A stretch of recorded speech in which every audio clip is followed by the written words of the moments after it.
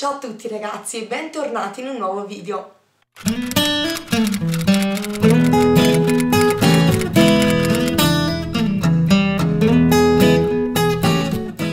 Oggi eh, sono qui per filmare l'ultimo video dell'anno, eh, infatti il giorno che lo vedrete eh, sarà il 31 dicembre, quindi siamo eh, pronti per dire addio a questo 2017 e dare inizio a un nuovo anno, il 2018. Allora, prima di cominciare con questo video, che sarà quello dei buoni propositi per il prossimo anno, sia per quanto riguarda i libri che per quanto riguarda la mia vita personale, voglio prima fare una brevissima introduzione. Allora, quello che vorrei dire è questo, molto spesso mi capita di leggere eh, nei vari social questo anno che è appena trascorso succede sempre, eh, tutti gli anni, quest'anno che è appena trascorso è stato un inferno, il prossimo non sarà da meno, oppure eh, speriamo che il prossimo anno vada meglio, ma sicuramente non ho delle grandi aspettative perché quest'anno è stato schifosissimo e così via, insomma, molto molto pessimismo. Quindi io sono qui con questo eh, piccolo video che sto facendo attraverso il mio piccolo canale e voglio um, darvi questo messaggio ed è una lezione che ho imparato durante questo 2017 um, e che voglio condividere con voi. Allora, ogni anno della nostra vita sarà sempre caratterizzato da momenti belli e momenti brutti. È normale ed è anche eh, giusto che sia così. Ci sono, ci sono, ovviamente difficoltà da affrontare, ci sono eh, ostacoli da superare e ci sono delusioni da dover eh, purtroppo fronteggiare. Ma allo stesso tempo ci sono anche tante cose belle che accadono ogni anno e delle quali molto spesso ci dimentichiamo perché la nostra mente tende a ricordare solo i momenti più tristi e a non dare la giusta importanza a quelli felici. Anzi, molto spesso eh, si tende a darli anche molto per scontati, anche le piccole cose belle si tendono a dare per scontate come se eh, fosse tutto dovuto. Ecco, non è così. La vita ci insegna che ci sono momenti belli e momenti brutti, bisogna saper godere dell'uno e dell'altro perché uno ci insegna come affrontare i problemi e l'altro ci insegna quali sono i premi che abbiamo alla fine dei nostri percorsi. Quindi mh, mm, io vorrei eh, affrontare il prossimo anno e vorrei invitare anche voi a farlo in una maniera nuova, cioè cercando di ricordare le cose belle che ci sono successe. Per questo vi chiedo, chiedo anche a voi qui sotto nei commenti di scrivermi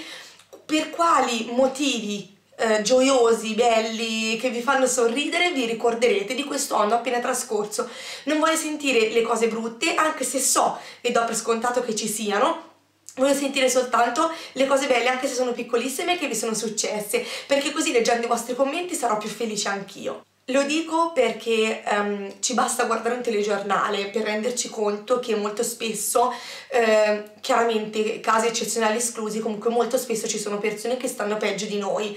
Eh, non, questo non vuol dire che non bisogna puntare a raggiungere i propri sogni o a migliorare la propria condizione, ci mancherebbe, anzi bisogna sempre lottare per questo, ma allo stesso tempo bisogna essere anche grati per quello che si ha ma non dobbiamo semplicemente eh, guardare fuori dall'Italia per renderci conto che ci sono persone che stanno peggio di noi, a volte basta soltanto guardare il nostro vicino di casa o persone che conosciamo, vedere quello che stanno affrontando per sentirci un po' più fortunati magari di qualcun altro, per sentirci non solo in grado di aiutare gli altri per affrontare una situazione difficile, ma anche grati per quello che abbiamo noi. Quindi io spero che questo 2018 sia anche per voi un anno pieno di soddisfazioni, di battaglie battaglie belle che anche se vi fanno un po' soffrire alla fine arrivino sempre a una vittoria. Per me è stato così, io ho avuto un 2017 che è iniziato nel peggiore dei modi, ho avuto dei mesi difficilissimi dovuti all'adozione, perché il nostro percorso di adozione ha avuto una battuta di arresto che mi ha completamente destabilizzata, ma avrò modo di parlarvene magari in maniera più approfondita sono stata veramente veramente male. Ma io non ricordo questo del 2017 io ricordo eh, quando a, novembre, a ottobre anzi scusatemi il 23 ottobre è arrivata la, la nostra idoneità all'adozione. O per esempio il fatto che abbia chiuso il negozio. Io ragazzi in quel negozio pensavo di, di starci tutta la vita. Pensavo che quello fosse il mio lavoro. E poi non è andato così, è stata una delusione ed è stata una grande sofferenza doverlo chiudere. Però alla fine non mi ricordo di questo, io mi ricordo che sono arrivata, a, sono approdata in un lavoro che mi piace tanto e che mi dà tante soddisfazioni. Oppure io ho perso un, il cane e mm, se qualcuno di voi ha degli animali sa quanto questo possa farci soffrire. Poi il mio cane purtroppo non era assolutamente vecchio, è stato... Ehm,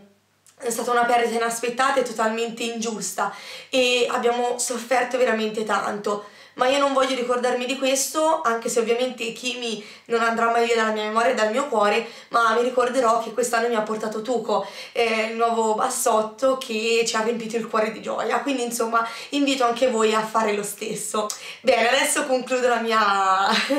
questa introduzione un po' lunghetta e comincio subito con i buoni propositi per il 2018 per quanto riguarda i libri. Il primo buon proposito che ho è quello di rileggere tutto Harry Potter. Lo dico da tanto, lo vorrei fare da tanto, ma poi alla fine non sono una che abitualmente rilegge i libri e quindi alla fine non l'ho mai fatto. Eh, quindi mh, mm, vorrei i primi mesi dell'anno leggere un libro di Harry Potter al mese per appunto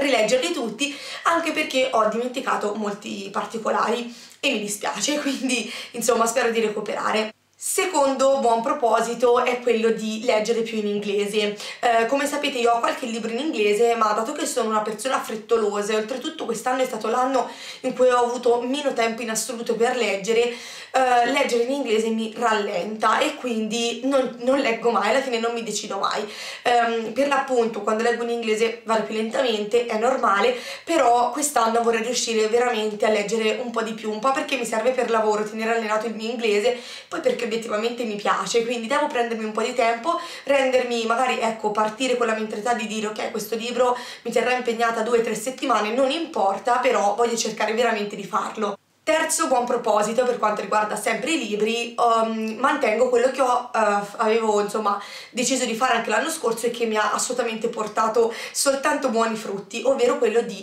non leggere o meglio non andare avanti nella lettura nei libri uh, che non mi piacciono, quindi non perdere tempo, non sforzarmi di finire un libro che non mi sta trasmettendo niente o che mi annoia o che non mi piace, eh, perché questo mi porta via tempo e magari avrei potuto dedicare quel tempo a letture molto più interessanti, ma soprattutto mi fa passare la voglia di leggere, quindi va a finire che quando il libro non mi piace lo leggo lentamente perché non leggo mai. Ecco, quindi l'ho fatto l'anno scorso e questo mi ha portato a leggere libri meravigliosi eh, che porterò sempre nel cuore e nella mia libreria e quest'anno voglio fare lo stesso. Quarto buon proposito dell'anno è quello di ehm, diminuire un po' la mia TBR. Non sono mai stata una ragazza con tanti tanti libri ehm, ancora da leggere sugli scaffali, ma da quando, eh, più che altro quando ho chiuso il negozio, ma sono un paio d'anni diciamo, che tante persone mi regalano libri. In più la chiusura del negozio mi ha fatto portare a casa un po' di libri che mi interessavano, quindi veramente ne ho accumulati diversi che eh, vorrei portare a termine. Sono eh, così di carattere, ecco, sono, mm, quando sento delle youtuber parlare e dire di avere tipo 100 libri ancora da leggere in libreria e continuare a comprarne di nuovi mi, cioè, mi esplode il cervello e non ce la potrei fare e per l'appunto mm, anche questo Natale ne ho ricevuti tanti quindi il mio obiettivo per soprattutto i primi mesi dell'anno sarà quello di diminuire il più possibile la mia TBR eh, in casa per poi insomma poter, potermi dedicare eventualmente anche a nuovi acquisti però più in là Quinto proposito per il nuovo anno, e questo è quello più difficile di tutti, è quello di cercare di leggere 4 libri al mese, quindi un libro a settimana. Non credo che sarà semplice per me perché io, a parte lavorare, quindi comunque ho un lavoro che mi impegna per metà giornata ovviamente, um, a parte questo faccio tante cose, quindi mi piace il cinema, mi piace la televisione, mi piace il teatro, quindi eh, faccio parte di un gruppo mm, teatrale barra musicale, insomma, quindi preparare spettacoli, ho le prove, quindi non, non sono sempre totalmente libera, però cercherò di impegnarmi di più, ecco, magari stare meno al cellulare e leggere, e leggere un po' di più nei miei ritagli di tempo potrebbe essere una buona soluzione occasione per incrementare le mie letture. Ok, questi sono i miei propositi per il nuovo anno. Non mi sono imposta di leggere niente a parte Harry Potter perché voglio che quest'anno mi sorprenda con letture appassionanti e non mi voglio, ecco, obbligare a leggere niente. Saranno i libri a venire da me. Passiamo adesso ai buoni propositi per quanto riguarda me personalmente, quindi anche questo fatemi sapere quali sono i vostri. Allora, il primo fra tutti è quello di fare acquisti più sostenibili. Um, non ne ho parlato tanto sui social, comunque mi sono Uh, informata molto ultimamente sui prodotti, in particolare di vestiario, ma in generale, che vengono appunto realizzati in uh, paesi in via di sviluppo o paesi del terzo mondo. In particolare ho visto dei documentari che mi hanno veramente aperto gli occhi. Uh, da quel momento ho cercato di acquistare in maniera più consapevole, quindi cercare di acquistare prodotti mh, mm, che non fossero per l'appunto realizzati in questi paesi e che, che abbiano poi appunto un costo bassissimo, perché questo significa che eh, qualcuno è stato sfruttato per realizzare quel capo d'abbigliamento e così via. È per questo che mi sono veramente orientata su ehm, acquisti eh, ecosostenibili, sul mercato ecosolidale, insomma eh, ho cercato di trovare un equilibrio tra eh, il cercare di non spendere troppo ovviamente perché non ho dei fondi illimitati ma allo stesso tempo di rivolgere il mio sguardo e comunque dedicare il mio denaro a qualcosa che non danneggiasse qualcun altro, ecco. Mm, magari se vi interessa potrei fare anche un video apposito su questo argomento, comunque sia per quanto riguarda il cibo che per, che per gli oggetti, insomma, nella mia vita quotidiana che acquisto voglio cercare di portare avanti questo obiettivo, cioè cercare di, di, fare degli acquisti più sensati, più sostenibili e, mm, e quindi anche di eh, comportarmi di conseguenza, quindi magari anche incentivando la mia raccolta differenziata che già faccio ma magari in maniera un pochino più saltuaria e così via. Cerco di dare il mio contributo piccolo eh, al nostro pianeta che in fondo infine ci, ci ospita gratuitamente e questo è il minimo che possiamo fare. Secondo buon proposito per il nuovo anno è quello di ehm, mangiare un po' più sano. Allora, io non mangio tendenzialmente eh, quelli che definiamo troiai, ecco, nel senso che ho la fortuna di avere una suocera che ha un orto immenso, quindi sono abbastanza abituata a mangiare verdure di stagione e a chilometro, no chilometro zero, a metro zero proprio però voglio cercare di incentivare un po' di più appunto eh, questo tipo di alimentazione, cercare di mangiare un po' più sano, magari per esempio eh, a metà mattina invece di mangiarmi un bel quadrato di pizza, prendere uno yogurt o una frutta, ecco, cercare insomma di migliorare la mia alimentazione. Terzo buon proposito per il nuovo anno, anche in questo caso riguarda la salute, voglio cercare di fare un po' di moto e quindi vorrei ricominciare a fare pilates eh, e o yoga, che sono due attività che io adoro Uh, essendo cardiopatica non posso fare sport troppo che appunto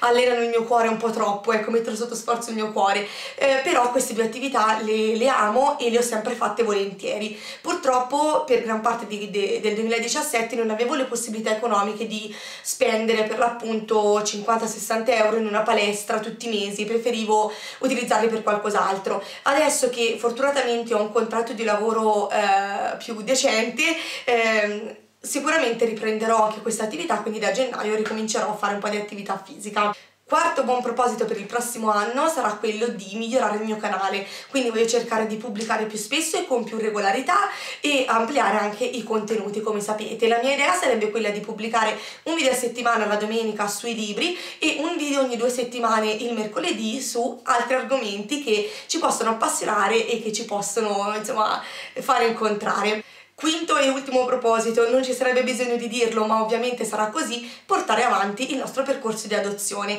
Sicuramente nei primi mesi dell'anno um, vorremmo dare il mandato ad un'associazione che poi ci guidi nell'adozione all'estero, sperando che il nostro, il nostro bambino arrivi il prima possibile. Niente ragazzi, quindi fatemi sapere voi che cosa ne pensate, come state affrontando questa fine dell'anno e quali sono i vostri buoni propositi, ma soprattutto voglio sapere le cose che vi hanno resi felici nel nel 2017 e io vi auguro ovviamente che il 2018 vi porti tanta gioia, tante belle persone, tanti be belli incontri, che vi porti tanta tolleranza, tanto amore e soprattutto che tutti i vostri sogni si possano realizzare nel lavoro, nella famiglia, nella, ne negli amici, ne nell'amore, in tutto. E ovviamente spero e vi auguro di leggere tanti tanti tanti bei libri. Niente, noi ci vediamo il prossimo anno, ovvero tra qualche giorno, qui sempre su YouTube. Grazie a tutti e alla prossima. Ciao!